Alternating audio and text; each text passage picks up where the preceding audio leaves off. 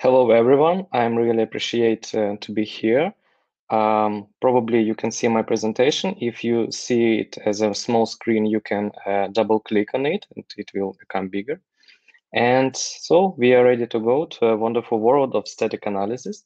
Uh, as already was said, I'm Alexander Kravchuk. I'm a Magento Master Maker 2020, so active contributor and uh, Magento maintainer certified uh, Magento uh, Adobe expert in the um, development and business practitioner. And I'm working as a technical lead at Waymo Dubai company. And um, yeah, um, the first thing which I understand when I uh, become a Magento master that it uh, have actually no impact on the, my code. And uh, today we are going to talk what we can do uh, to stop doing like uh, you know this and in result don't uh, receive consequences like this. And think which can really improve the quality of your code is of code testing especially when you're using an automated testing. And uh, now i uh, would like uh, to play would like to play a small game with you. I will show you an image, uh, um, some diagram of the kind of tests, and you should uh, try to get uh, to guess which kind of test it's about. please use the chat, the session chat, and yeah, so there is the first one.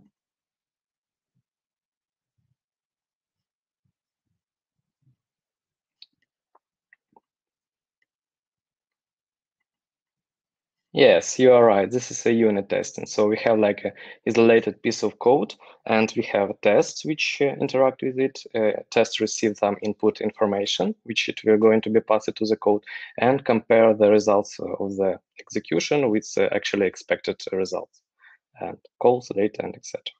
And uh, let's let a little bit uh, complicate the task.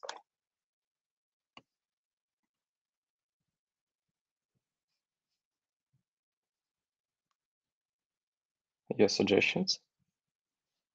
Yes, you are right. This is an uh, integration test. So uh, now we have like a not only isolated piece of code, but our code is interacting with other uh, code of the system.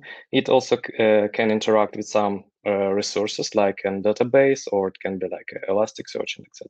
It still receives some input information, uh, pass it to the test, receive input information, pass it to the code, and compare the result of the execution with uh, expected results. And this one.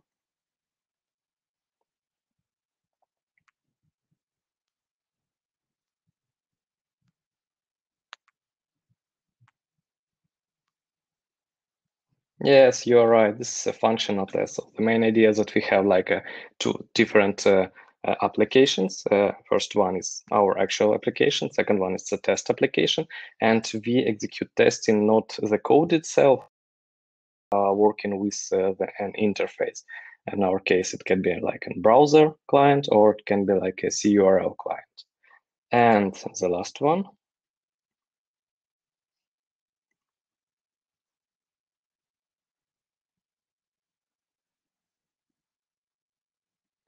Yes, you're right. This is a static test. So uh, the main idea is that we like in uh, replacing uh, input parameters with the code itself and we're using special rules to check that uh, our uh, code is following or um, uh, not following the specific rules. And I think the most beautiful part of this uh, that if we are increasing the code base, uh, we are not uh, like losing the code coverage itself. I mean the coverage of the static tests.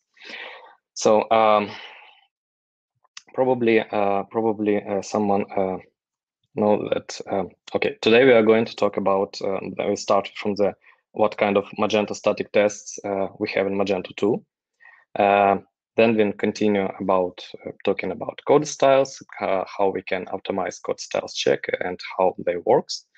Then we'll proceed uh, with uh, abstract syntax. We'll talk about such features as abstract syntax and abstract syntax tree. Then we'll continue with static analysis and static analysis tools. And the most, you know, probably uh, helpful part of the presentation is how to make all the things uh, work for you and uh, make a benefit for you. And uh, yeah, probably someone know that uh, Magento has a folder which called uh, dev. Uh, its folder has subfolder tests and subfolder static. And uh, if you uh, can look into this folder, you can find that there are four different groups of tests can be found. First one, it's live code test. we will return back to it a little bit later. Then there's JSTS, which is JavaScript uh, code style test. They're used to be run uh, with uh, Jasmine and can be configured with a JSON file.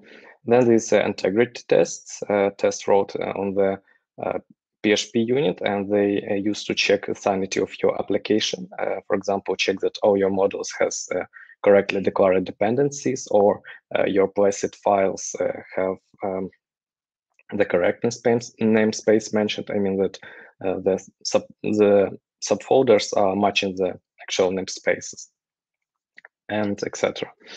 And uh, of course, there is a legacy test which uh, try uh, help us uh, to avoid mistakes from the past. About live code test group, uh, it has like four subgroups. each subgroup it depends on the extension which it's going to check. for most groups, it's uh, just a code sniffer with specific rules to validate the code style. But for PHP, it's more advanced. It's like uh, six uh, different approaches in tooling.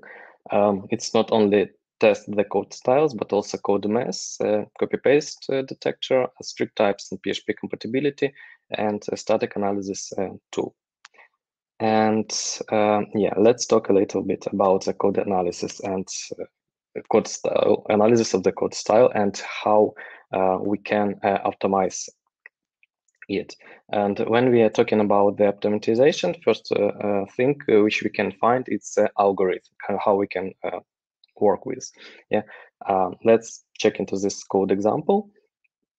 Some situations that we are receiving this code for the code review, and first thing which we are trying to use is to read it. Um, and um, you, you, you know you can read in really many different um, variations. So you can start reading by symbol by symbol. You can read by words or we can read uh, like a line by line separated by new line symbols. Actually there is really big variety and uh, fortunately we are working with the best language of the uh, best programming language and php provide possibility uh, to receive uh, the actual list of uh, tokens or how the PHP interpreter uh, understand the code which you are, you are writing. In result, we will ask we could ask PHP to provide us a list of tokens for this uh, piece of the code, and uh, it will show us output like this. And uh, you know, from this output, we can easily say that it's actually hard to mm, understand anything. But if you uh, if you could pass these tokens to the code sniffer tool, it will say that you when you forget to add a new line symbol in the end of the file. But uh, the most powerful thing that uh, it still provides the possibility to find sub subsequences of uh, tokens. For example, if you could uh, see the tokens of a function declaration, that means that there should be a white space then uh, and a function name. Or there can be no function name because it can be an anonymous function. Then it could be a string which represents the typing. And if we have a typing string, string, uh, it will mean that we then should have a white space uh, token and then a variable name. Or they can be like a no variable and no of these tokens will be passed. In any way, it's uh, provide us possibility to specify uh, rules of subsequences of tokens which we would like to have and which we would like to emit. In result, it's a easy approach to build uh, automatization for the code styles. And unfortunately, um, it only can check that your code is looking well, but it cannot understand your code. Uh, it uh, do not understand the context and uh, what's uh, code uh, code is uh, consist of. It's only you know they understand the symbols and the tokens. Uh, to work with the context, there are more uh, advanced thing exists, like abstract syntax approach, uh, which uh, will I'm going to be familiar with uh, abstract syntax tree, one of the representation approach of the abstract syntax. Um, to understand what is it, let's look again into our example. So we have like um, on the top level of the execution, we have like uh, um, two um, two ways to go. Uh, first one is a function declaration, and the second one is the call of the function. Uh, inside of the function, we have like if statement with uh, like uh, three possible branches of the execution.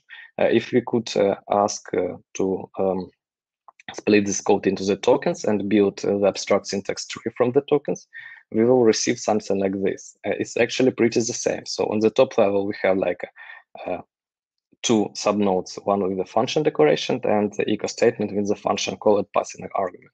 Then we, for a function declaration, we have like parameters and statements. We actually have one statement, it's if with condition and statement which will be executed if, if condition met. Else if is uh, same, it has a condition and statement which will be executed, and else, uh, which has its um, own uh, statements.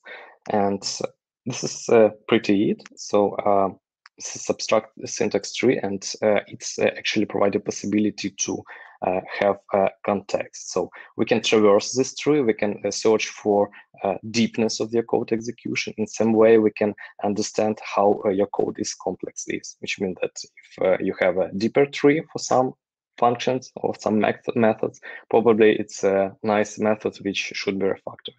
And uh, these things actually is PHPMD is using uh, to uh, it use uh, abstract syntax tree to build it from tokens and uh, analyze it uh, with also using the PHP reflections, collect different metrics of uh, abstract syntax tree of your code and provide you outputs and highlighting some possible problems of uh, uh, of overcomplicated code or uh, as it called mess. And PHPMD is using library called pdepend. There is also one more popular library exists and more advanced, I think. It's PHP parser. PHP parser was uh, created by Nikita Popov. And one of the beautiful things which it uh, provide possibility to do is uh, to use a visitor to traverse this uh, tree. Uh, with a visitor, uh, you can subscribe for two events, leave node and enter node. Enter node will be called the first time when you see the, this node. Uh, it means like when you enter in, then it will uh, traverse all child of this node and uh, will return uh, outside from the node, which means that last time you uh, will see this node, and then it will call uh, the leave node event. And and um, it provides possibility not only to look and collect some information, but also modify the tree. For example, if you would like to create some visitor which could check our code and um, remove all uh, forgotten var dumps, which we just committed and forget to add or just uh, forget uh, to remove. I mean, uh, the code will look like this. Uh, it looks uh, a little bit strange, but not anything difficult. So we have like leave node subscription, and we checking that our node is expression. Its function call at the name is var dump, and we return signal to remove node.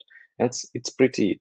And then we can, of course, receive the modified abstract syntax tree and uh, convert it again to the code with receiving the refactored uh, code. And probably you start to think that, oh, it will be nice to have possibility to create like more user-friendly uh, API and build a tool which could uh, refactor your code automatically by just specifying some rules. Uh, fortunately, this niche already taken. Uh, the tool is called PHP Rector. It's a code reconstruction tool. It's used abstract syntax tree and static analyzer to modify and refactor your code according to specific rules which you can uh, specify. It have like a very very wide uh, extensible uh, API which you can um, interact with uh, to build your own like refactoring scenarios. And the really great things uh, how it impacted on the Magento. It was uh, just uh, a few months ago, we had a release of Magento 2.4, and during the release, uh, we had an upgrade of PHP unit library from version 6 to version 9. Uh, with uh, PHP Rector 2, there was done a migration of 30,000 of unit, unit tests. It was like mostly automatical, but I think it's really, really great approach uh, because otherwise to refactor and uh, fix so much amount of unit tests by hands, it will be uh, some kind of endless work. And so let's finally talk about static analysis and let's talk which steps we need to proceed to make a proper static analysis. Uh, first of all, we need to load code base or some code which we would like to analyze. Then we uh, split it in, into the tokens. We already talked that we can do it with PHP tokenizer. And uh, Code Sniffer can also use these tokens to check your uh, code style. Then we can build abstract syntax tree with uh, PHP parser, for example. And then we can analyze abstract syntax tree or with static analyzer or, for example, PHPMD and print results. So what's the approach of the static analyzers and what the difference with the PHPMD? Uh, they provide possibility to check that your syntax is correct, probably nothing new. Uh, then it provides possibility to check that all your used methods, function classes, and variables uh, and constants, of course, they are exist in the code, and you are not using something which will lead to you um, for the error.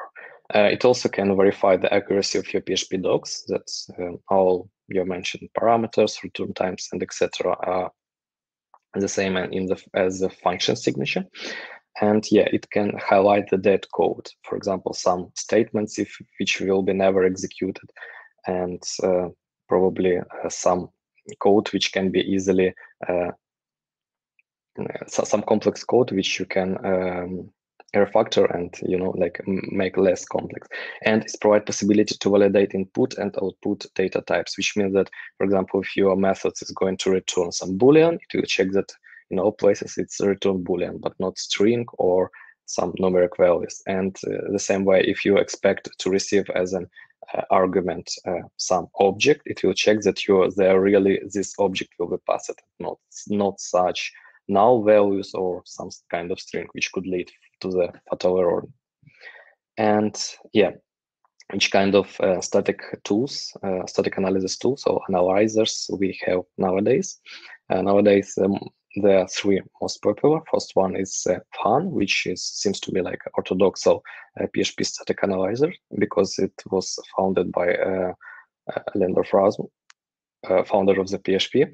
Um, Psalm, which was uh, founded uh, by um, Vimeo company, and PHP Stan, which was wrote, written by some programmers from the Czech.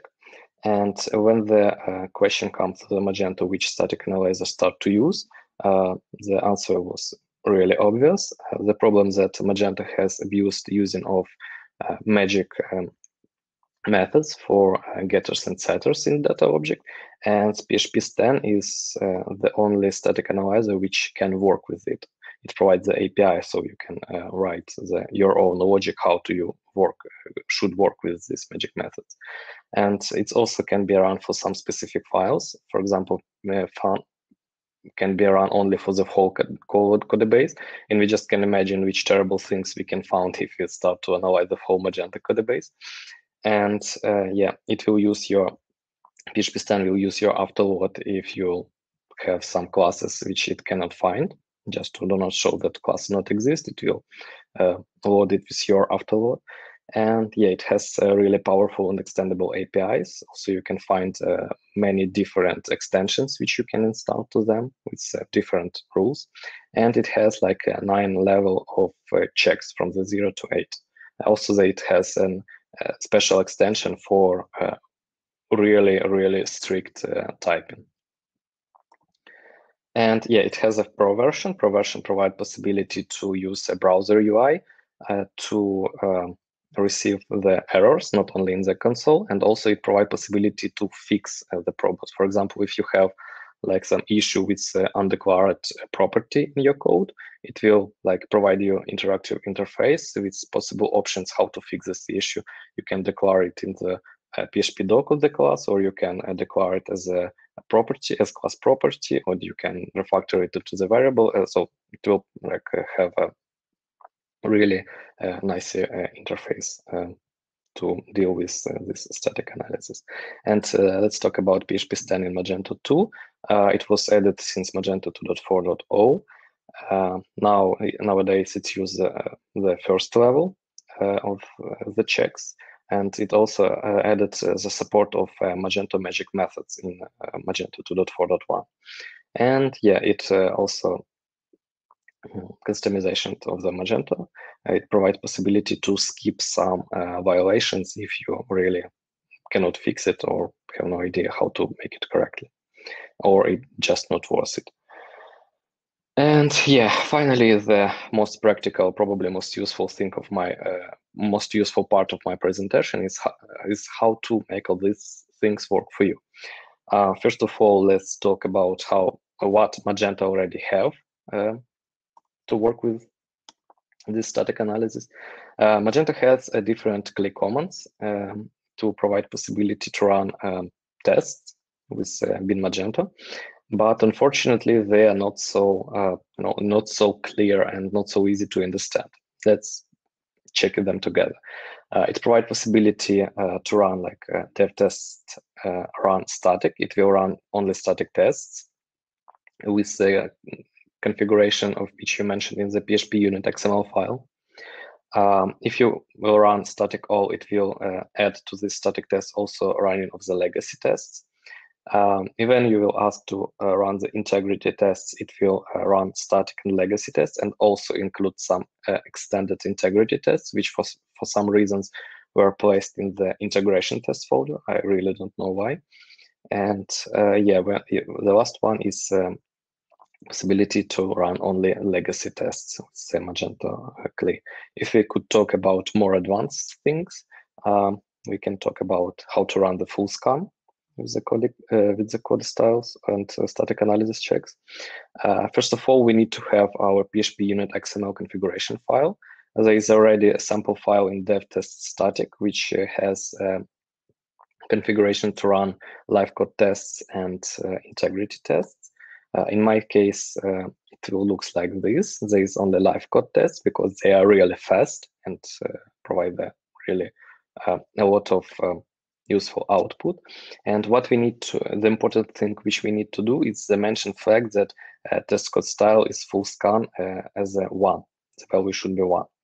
Uh, then we can just simply run the PHP uh, unit with uh, provided config file and it will execute the full scan. But uh, in 99% of the cases, I believe that you don't really need it because first of all, it will check the whole code base and then it will um, have uh, also a big load for the tooling which you use. And I don't really uh, think that PHP uh, Stan will survive under this uh, under such pressure, especially if you are talking about the Magento with its huge code base. But uh, we can also uh, make a partial scan. for this, we need to edit our PHP unit XML file and disable the flag, just set it zero. Then we need, or we can create a bash script. It will looks like this.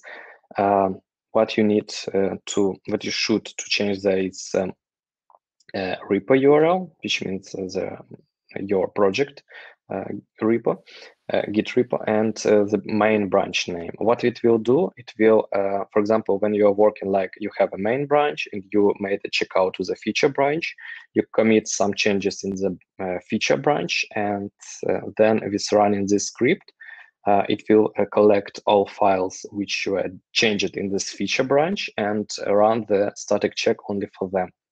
This is the same approach which Magento used to check uh, the code uh, on the GitHub with all these contributions. And uh, yeah, it's a really useful thing uh, which you can use in your CI/CD integrations because it can be like an very easily run with Bash. So, and uh, sorry, Alexander, your time will run out minutes. Yeah, it's okay.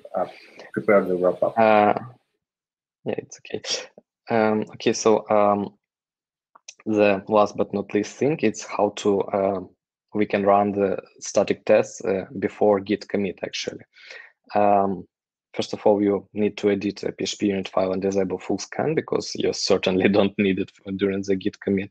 Uh, or, for example, if you are using uh, the static test for for your CI/CD, uh, you can have like two different config files. For example, for CI/CD, you can use more heavy checks, like to include some integrity tests, and uh, you need to create a Git hook um, pre-commit uh, hook file in the Git hooks pre-commit, and add content like this. First string will clean the cache, which we talk about this bash script, which will collect difference between uh, branches. Uh, this uh, the, the whole approach that Magento uh, static tests they will look like okay so we have like uh, some cached changes I mean the difference between between branches we will run tests for them if you will remove this uh, these files it will look only for your git diff output and we will run tests for it so it's a really cool approach how to commit only changes which are meeting your coding standards. And uh, the last but not least thing that you can add a flag uh, no verify to your git commit um, and it will skip all the checks. It's really required for some for some uh, hot fixes which you would like to deliver when you don't have time to think about the code styles uh, there are some useful links. Probably they will be useful for you when this presentation will be shared um, the internet. And i'm really appreciate and really thank you for your attention. And it's uh, time for your questions.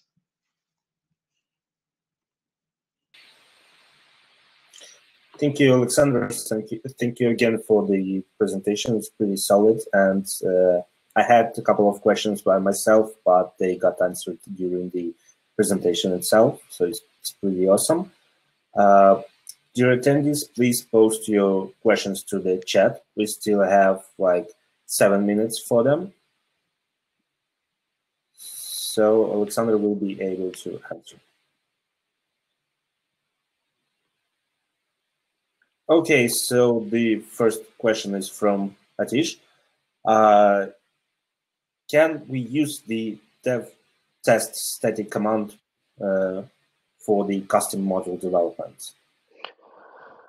Um, okay, the idea that um, yeah, um, how I can say uh, yes, uh, yes, you can. uh, so, for example, the idea that uh, what it will do, it will uh, provide some uh, encapsulation for um, like a colon PHP unit directly. It will like um, if you're talking about uh, the full scan, yeah, we will create in our PHP unit XML. And if we will leave it uh, there and uh, run with Magento console like dev tests uh, static check, it will use your PHP uh, unit XML to uh, make the check. So to check your module, you um, you need to um, you could you could use this partial a partial scan approach for example, when you have like your uh, main branch and you create in your module branch, you're committing all changes in the module branch using this bash script. And in result, it will uh, execute the check for the uh, only files in your module. About some easy approach to only mention the path to the module and run static tests for them, uh, there are no one actually right now, but I believe it can be contributed in the future uh, because uh, it's uh, the behavior of um, these tests a little bit another than any other kind of like an integration or unit tests. Thank you, Alexander. Um, I have uh, one question. Um, we are talking about the pre-commits check he, checks here as well as the CI checks uh, they were partially covered at the end of the presentation. So my question would be, uh, would it be easy to not to rely on uh, that uh, XML config uh, or how to cover the actual changes that we are going to commit with, with that configuration? We will check our code before the commit or during the CI check? I mean, the, the code that was actually changed, not the. Mm -hmm. uh, yeah, I understand. Um, yeah, actually, it's uh, um, the, the same approach that uh, they shared just a few slides. Uh, yeah, uh, so uh, the, the idea of the this static tests and how they use um, how Magento use them is uh, if we have uh, files uh, placed with um, this, you know, cached and collected changes, um, it will use uh, to run all these tests for them. But if we can uh, just uh, run with, uh, we just can just run static tests without passing flag for the full scan, and there will be like uh, no files uh, cached. It will only select your Git diff, collect all changed files, which mean that you still you um, didn't commit. they are shown in the Git diff and it will uh, run the scan only for them, which will uh, means that uh, if this test will pass, that you will uh, certainly uh, commit files which are matching the uh, code standards and all these checks. So the the the idea is uh, to uh, remove this uh, cached and collected changes which we used to look during this, you know, the partial scan section. Thank you very much for the answer. Do we have any other questions? The chat is empty for them.